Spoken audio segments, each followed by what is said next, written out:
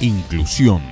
Gracias al programa de inclusión jubilatoria, otorgamos 6.900 jubilaciones a nuestros mayores. Municipalidad de la Costa.